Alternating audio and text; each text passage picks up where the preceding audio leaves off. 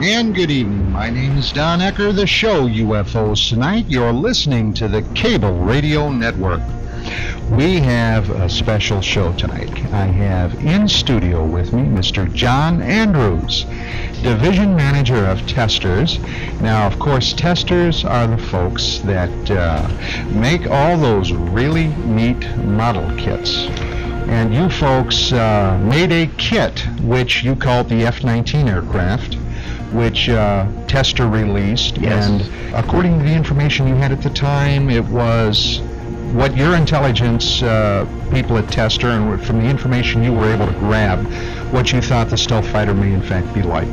Well, what we did at the time, Don, is that uh, we, we knew we wouldn't be exactly like the like the real F-117, but in the model we incorporated the basics of stealth design. We had weapons carried internally. We we had uh, swept back wings. We had a, a two-dimensional exhaust. Uh, we had the canopy was pointed just like on the F-117. Uh, we did a number of things that, that touched on the stealth technology. Actually, when you take that uh, F-19 model and you lay it on top of a drawing of an F-117, you look at it and you say, my gosh, the wing sweep is approximately the same as the averaged out.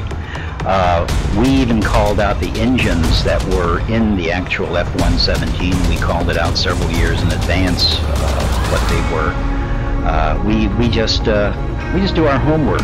We, we watch things, we read things, we talk with people. I'm a, a member of the Aviation Space Writers Association. Uh, that's a professional organization, and uh, we get around, we have our annual meetings, and uh, I have some access to the aircraft industry, uh, to the military. They're not telling me secrets, they can't, and actually I don't want to have secrets told me.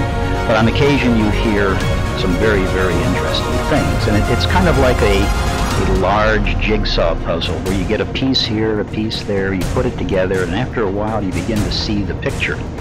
So that, that is part of what we do. We're, we're actually, in essence, a small CIA. We operate exactly the same way. We take little bits and pieces, put it all together, and see what we can come up with.